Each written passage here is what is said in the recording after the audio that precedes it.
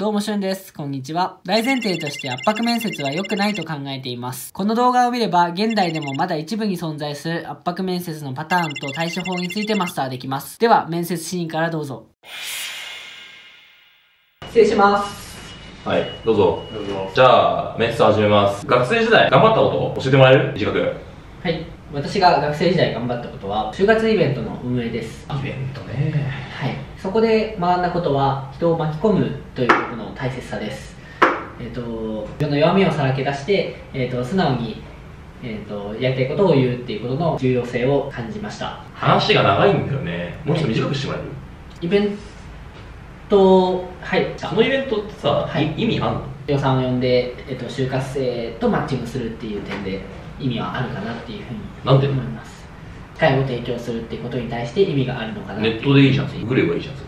ググる人とググらない人がいると思ってまして行動格差といいますかやる人とやらない人はもちろんいると思うのでそのやらない人に対して機会を提供できるとか何か生み出すきっかけをできたらなって提供できればなって思って何それ？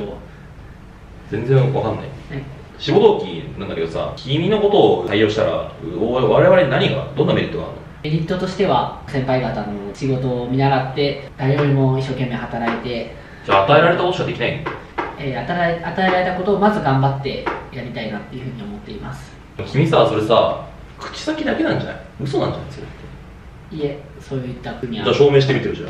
証明今、ここで証明してるよ。証明ですか？えっと早くしてよ。時間ない。はい。証明難しいなっていうふうに。あじゃあもういいよ、じゃあ。終わり。ありがとうございました。はい。パターン丸1に関してはシンプルに面接官の憂さ晴らしのために就活生が使われるパターンそもそも大前提として圧迫面接をする会社はやめてください就職してはダメです。これはもうバカとしか言いようがないので こんな会社には就職してはいけません。とにかく罵倒したり全否定をしたりとかストレス解消のサンドバッグのために就活生が使われるパターン。まあ今の時代結構珍しいとは思うんですけど、えーまあ一部こういう人もいたよっていう声が上がってきたのでゼロではないです。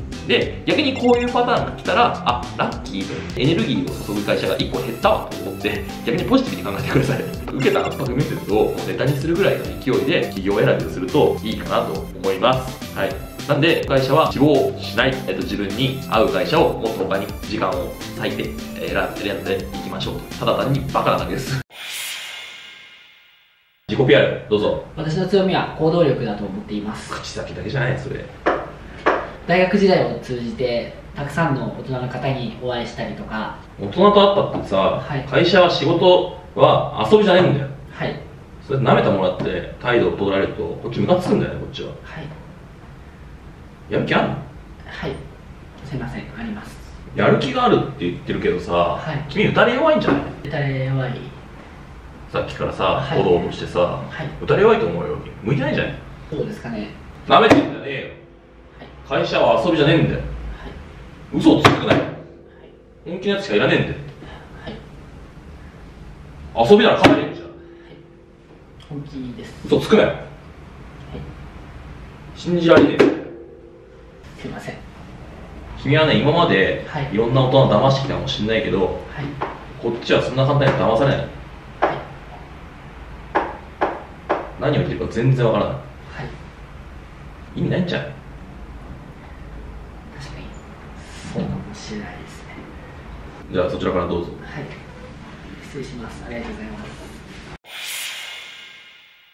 パターン2なんですけどこれは意図がある圧迫面接のパターンですストレス耐性を判断するために使っている面接でございます営業の会社とかって全否定されたりするんですよいや他社の B とか C っていう商品の方が良かったじゃんみたいなお前何こんなもの持ってきてるのみたいな感じで結構バンとかね、されたりもするんですよ。なんでそういう営業しても心が折れないかどうかいやいやいやっていう風に切り替えてるかどうかっていうところを見てる。戦略的にこちらはプレッシャーをかけているのであまりこの人格を否定されたと思わない方が大事ですね。人格を否定してるわけじゃなくてただ単にストレスに対して耐性があるかないか。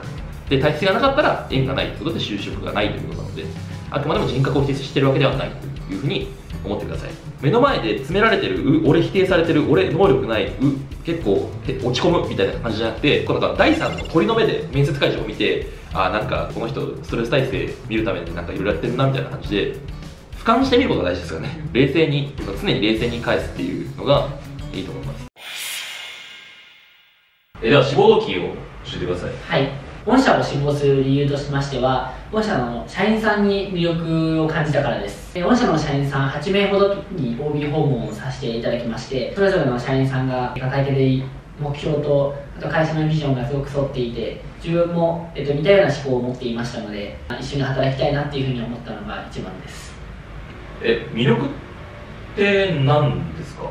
たくさんあるんですけどもその中の一つは若いうちから採用権を与えられて、えー、と活躍されていることです。弊社のビジョン合ってるって言ってましたけど福田さんのビジョンって何ですか？私のビジョンは社会の課題を解決するということです。えなんで社会の課題を解決したいんですか？まあ社会の課題と言いましてもたくさんあると思うんですがその中で自分自身は私が住んでいた地域と日本の中の都会の地域の行動格差というものを感じましてそこに対して負を自分自身が生活して感じたのでそこの部分をまず解決したいっていうふうに思っています。なんで負を感じたんですかね？自分自身がまあこういった就職活動であったりとか他の活動をする中で、えー、と都会の方が有利に働くことであったりとかわざわざ都会の方に行かなきゃいけないっていうことが多々ありましてそこの部分をに対して負を感じましたなんで都会の方が有利なんですかね？はい。えー、と人や情報、まあ、企業もそうですけどが集まっているっていう点で都会の方が有利だというふうに感じています。インターネットがあれば別に日本全国と地球どこにいるか一緒ですよね。はい。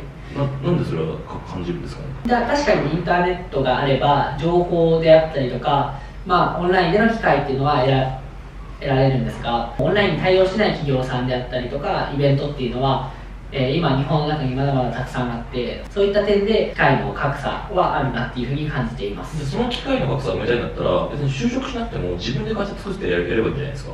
はい、えーもちろんそういう選択肢もあるんですが一方で大きな、えーお金であったりインフラ設備であったりとか人っていうのを動かせる環境っていうのは御社の方が。就活生は圧迫面接と感じてしまうんですけど面接官側は圧迫する意図がありません。面接官がえなんでなんでなんで深掘りの質問の連続をされると就活生はうなんかこれ圧迫されてるって感じてしまうんですけど違うんですよ。ちゃんと就活生が自分のことを理解しているかどうかとこの人がうちの会社に入ってからも不幸にならないかどうかマッチングしてるかどうかをちゃんと見てると。とあこの人は僕のことを理解しようとしてくれてる優しい人なんだなと思いながら受けるといいと思います就活生は圧迫されてるっていうふうに思っちゃうかもしれないですけど圧迫はしてる意図は面接官側にはありません。しっかり準備をして準備不足にならないように準備をした上でなんでなんでって深掘りされてもあの答えられるようにしておきましょうということです。面接って自分という商品を買ってくださいっていう話なんですよね。冷蔵庫とか電子レンジとか買うときに比較しますよね結構。いろんなメーカーも見るしいろんなバージョン製品も見るし価格とスペックを見るし。それと全く同じことをしてるんですよ。障害年収っていうと、まあ、サラリーマンって大体3億円から6億円とも言われているので、まあ、言うたら企業としては3億円ぐらいのお買い物をするイメージなんですよ。自分という商品の魅力を理解してない人の商品を買いたいかどうかっていう買いたくないですよね。だから、ちゃんと自分という商品は、これこれこういう強みがあって、これこれこういう価格で、だけど、これこれこういう弱みもあります。でもこの弱みを逆転の発想で、こう強みとしても使えますっていうふうに言ったりとか、ちゃんと自分自身のいいところ、悪いところ、両方を理解している。もちろん完璧な人なんていませんよ。いい面もあれば悪い面もあるんで、そそのどちらも理解してるっていうのがすごく大事。圧迫してるっていうか、ちゃんと自分自身を理解してるかどうかを聞いてみるっていう。自分という商品を理解しましょう。のあ、